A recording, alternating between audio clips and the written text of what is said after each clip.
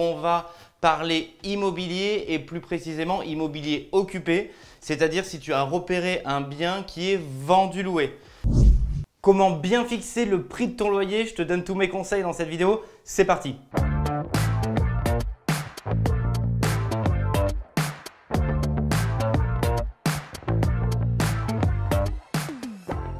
Bonjour les entrepreneurs d'immobilier bienvenue dans cette nouvelle vidéo où on va parler de comment fixer le prix de loyer de ton futur bien pour maximiser bien entendu euh, ton rendement. Sans plus attendre, je t'invite à cliquer sur le bouton rouge s'abonner, la petite cloche notification. Comme ça, tu vas pouvoir recevoir l'ensemble de mes conseils dans les prochaines vidéos. Je m'appelle Mickaël Zonta, je suis le cofondateur de la société investissementlocatif.com. On fait investir des investisseurs qui veulent du clé en main à forte rentabilité dans plus d'une quinzaine de villes en France, on est accompagné d'une centaine de collaborateurs pour faire et te constituer ton empire immobilier à toi. Et je suis l'auteur également de ce livre et de ce best-seller. Vraiment un grand, grand merci parce que ça me touche pour tous ceux qui l'ont acheté, qui l'ont lu.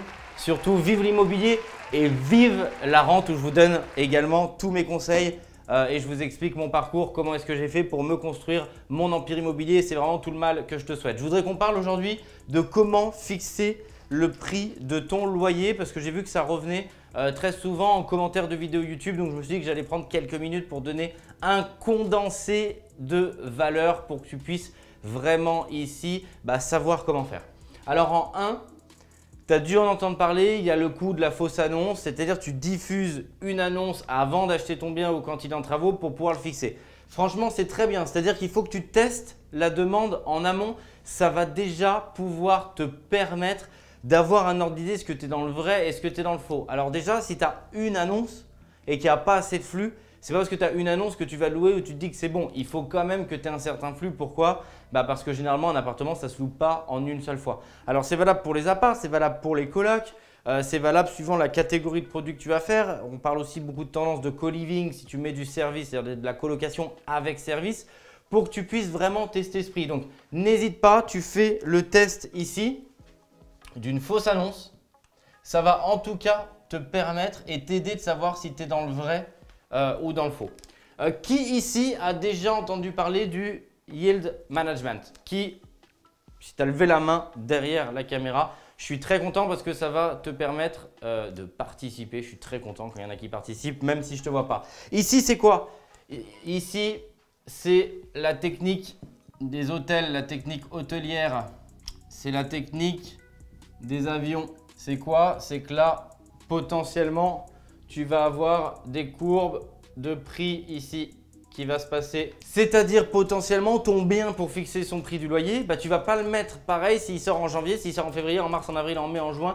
Si c'est un logement étudiant, on sait très bien que si ton bien ici, il arrive sur le marché le 1er septembre, bah, tu doutes que tu es sur le pic ici. Et si, on va dire, ça arrive en février, potentiellement, bah, ce n'est pas forcément le pic. Donc ici, il faut que tu en sois conscient. Alors, ça ne veut pas dire qu'il faut que tu cales ton investissement, ton achat et tes travaux en fonction de ça. Pourquoi? Parce que très souvent, c'est très difficile à obtenir. Tu peux avoir du retard dans ton financement, la banque peut mettre du temps à débloquer les fonds, ton entrepreneur peut mettre plus longtemps. Donc, ne le calcule pas non plus de cette manière-là en disant bah, il faut que je, passe à l'achat en, janvier pour que mon bien soit sur le marché en septembre.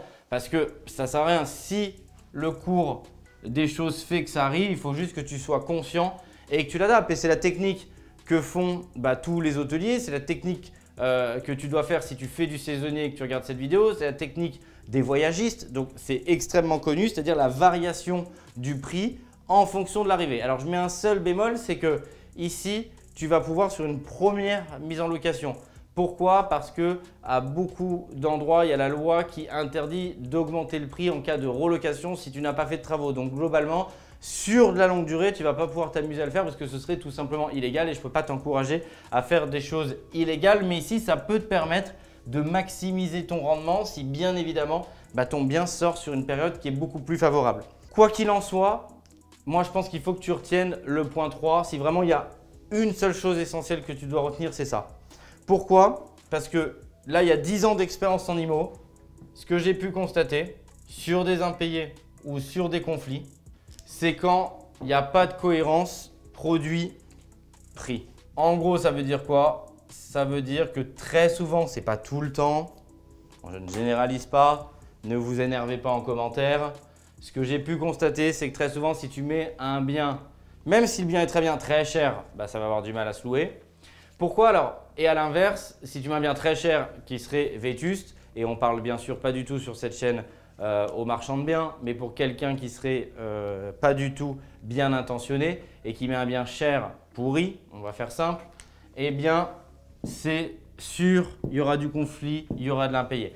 Déjà, sur cette règle simple, si tu te mets en cohérence prix-produit, mais tu vas éviter 95% des impayés ou des conflits. Alors, je ne te dis pas que tu vas éviter 100%. Oui, il y aura toujours un cas de figure ou 5% et peu importe. Quand ça te concerne toi, bah, je peux comprendre que tu n'en as rien à faire de dire oh, mais 95% ils sont payés, je suis dans les 5%. Quand ça te concerne, c'est sûr, tu t'en fous. Mais on est là pour essayer de t'éviter de faire des erreurs. Et donc, plus tu vas être en cohérence produit-prix, plus tu vas éliminer ici les conflits et les impayés. Tout simplement pourquoi? Alors, ce qu'il faut comprendre, c'est quoi? Si tu es en position demain, si tu es locataire et que tu regardes cette vidéo, si tu es en position d'être locataire, euh, que tu es peut-être propriétaire mais tu es en position de, louer, juste imagine-toi, tu as un bon dossier, tu es sérieux, solvable. Tu te présentes sur le marché. Tu vas pas aller sur un bien qui n'est pas en cohérence produit-prix, parce que tu n'es pas un pigeon, ça n'a pas de sens. Donc ça veut dire quoi? Ça veut dire que plus tu t'éloignes de cette cohérence prix-produit, plus bah, tu vas attirer, tu vas drainer des locataires qui malheureusement n'ont pas eu le choix parce que leur dossier a été refusé sur des, produits en cohérence prix-produit parce qu'il y a eu des gens plus, plus solvables euh, qui ont été choisis. Donc plus tu vas attirer des, des dossiers dits fragiles. Et plus tu, es loin de cette cohérence prix-produit, plus tu as des dossiers fragiles et donc plus tu vas vers un risque d'impayé ou un risque de conflit. Donc vraiment, ce que je peux te conseiller, c'est de pas lever ta tête de ton tableau Excel, de regarder le bien immobilier que tu as, de regarder le marché ici et d'être en cohérence prix-produit. Et là, tu vas attirer des très bons candidats et tu vas pouvoir obtenir une très bonne rentabilité parce que la base de la rentabilité, c'est un très bon locataire qui en a pour son argent et on aura un heureux propriétaire avec une très bonne rentabilité et un bien qui sera très bien entretenu.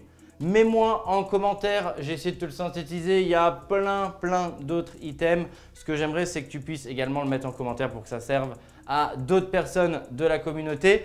Je t'invite à cliquer sur le bouton rouge s'abonner, la petite cloche notification et je te dis à très bientôt pour d'autres conseils. Ciao faut-il investir dans l'immobilier à l'étranger, loin de son port d'attache, ou est-ce qu'il vaut mieux investir en France, dans son pays d'origine?